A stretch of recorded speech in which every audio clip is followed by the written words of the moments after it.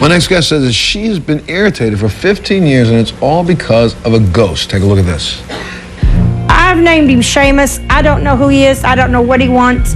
I don't even know why he's attached to me. He opens and closes my doors.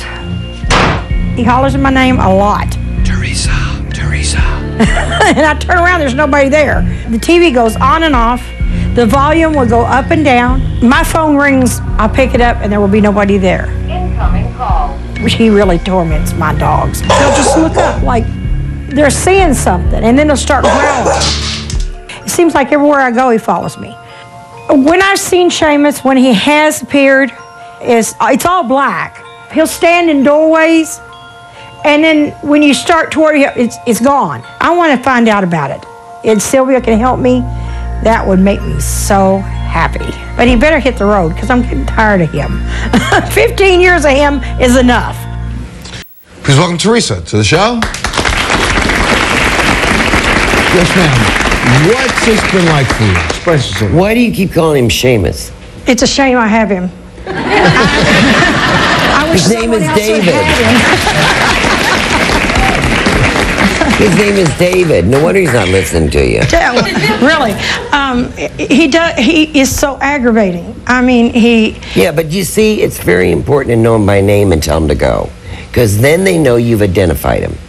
Where did he come from? I mean, is he blind? Because every time I move stuff in my house, he does things. He'll he'll turn my lights on and off. He'll No, he just wants to be. You had a past life with him. Oh, lovely. Yeah. What kind of life did we have? Well, you ought to be a little bit more inviting. Yeah.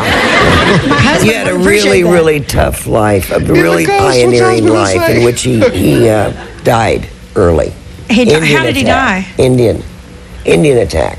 did it, it feels like I'm drained. I'm really tired all the time. It's like he drains me. Oh, yeah, they do. They can. And my granddaughter, she'll walk around the house and she'll just point and she'll wave. Oh yeah, and like you said, the dogs and everything, they can see.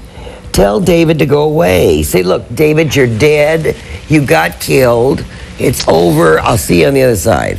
Well, I was wondering. Um, my uncle's name's David, I, and I was wondering. No, this is a man you were married to in a past married life. Oh, do we have children? You had uh, two girls and a boy. So that's why four came up. Mm-hmm. Well, I was wondering because I'm always tired, but but I was wondering because my bride, my bro- lost my brother. Um, well, I didn't lose him; he just disappeared. and We've not seen him for like 26 years. We don't know He's if gone. Mm-hmm. Is he?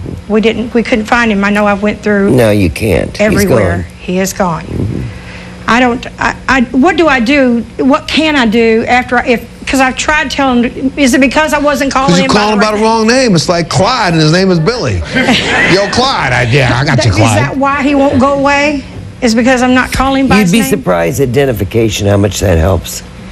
It's very much like this other woman who identifying the, even the problem of a past life gets rid of it.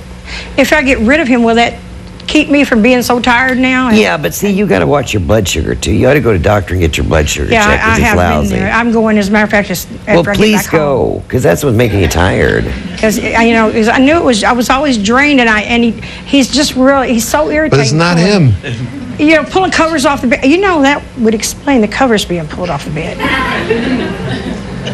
That would so explain. that, yes, that Do, would do explain tell us more.